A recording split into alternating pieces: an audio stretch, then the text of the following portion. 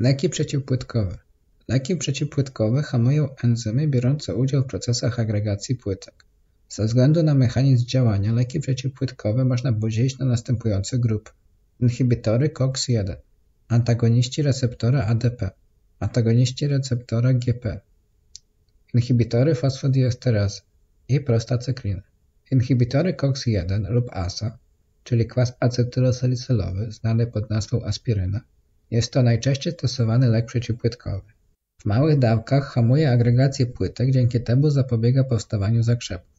Stosowany jest również u osób po przybytym zawale serca w dawce od 75 do 100 mg na dobę. Jednym z działań niepożądanych są wrzody trawienne. Dlatego u osób z ryzykiem krwawienia z powodu uszkodzenia zaleca się stosowanie ASA razem z IPP, czyli inhibitorami pompy protonowej. Innym powikłaniem ASA jest zespół Reja, który dotyka dzieci w wieku od 4 do 12 lat. Jest to encefalopatia, czyli uszkodzenie mózgu wraz z uszkodzeniem wątroby. Pomimo, że jest to rzadkie powikłanie, nie zaleca się stosowanie ASA u dzieci. Antagoniści receptora ADP, czyli antagoniści receptora adenozyny 5-difosforanu, mogą być stosowane jako alternatywa dla ASA, gdy ASA jest nietolerowane. W tym celu stosuje się clopidogrel lub może być stosowany razem z ASA, tzw. Tak terapii DAPT, czyli podwójnej terapii przeciwpłytkowej, np. po epizodzie OZW, czyli ostrego zespołu wieńcowego lub w czasie PCI, czyli przeskórnej interwencji wieńcowej. W tym celu stosuje się cangrelor plus ASA. Cangrelor działa krótko, około 60 minut. Do działań niepożądanych zalicza się ból brzucha, zaburzenie funkcji wątroby i wysypka.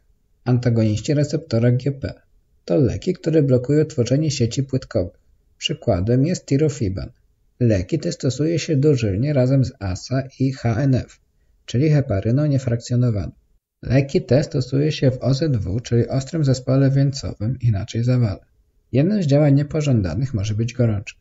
Do przeciwwskazań należy przybyty udar krwotoczny lub niedawny udar niedokrwienny.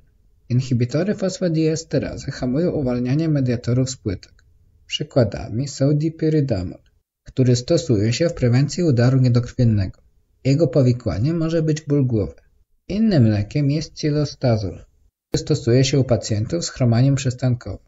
Jeżeli porównamy czas działania poszczególnych leków, to najdłużej działa ASA, inhibitory COX-1 i clopidogrel, antagoniści receptora ADP, około 7-10 dni. Cielostazol, inhibitor fosfodiesterazy, działa od 2 do 4 dni. Tirofiban, antagonista receptora GP, działa od 4 do 8 godzin a cangrelor, antagonista receptora ADP, działa około godziny.